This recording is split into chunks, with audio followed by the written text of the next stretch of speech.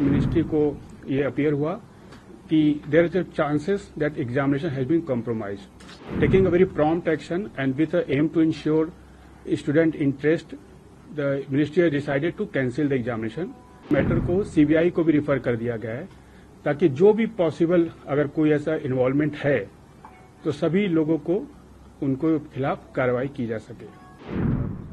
आज दो स्टेटमेंट देने के लिए आपको बुलाया गया है और कुछ इशू भी रहेंगे। यूजीसी नेट की परीक्षा जो 18 जून को एनटी ने कंडक्ट कराई थी,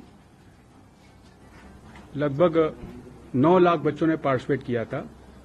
19 जून को यूजीसी को मिनिस्ट्री ऑफ़ होम अफेयर के Indian cyber crime cyber crime centre coordination centre I four C से कुछ इनपुट मिले।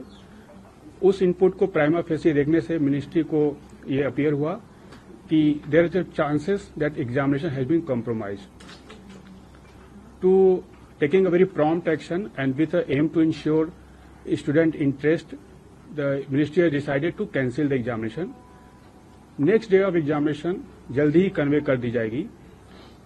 और इसके साथ ही मैटर को सीबीआई को भी रिफर कर दिया गया है, ताकि जो भी पॉसिबल अगर कोई ऐसा इन्वॉल्वमेंट है तो सभी लोगों को उनको खिलाफ कार्रवाई की जा सके।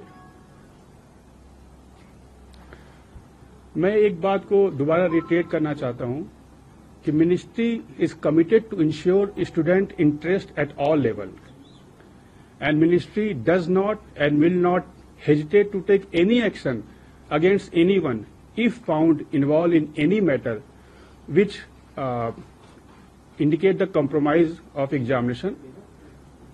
Students का हित हमारे लिए सर्वोपरि है और हम सभी कमिटेड हैं और सभी एजेंसी के साथ हम काम कर रहे हैं।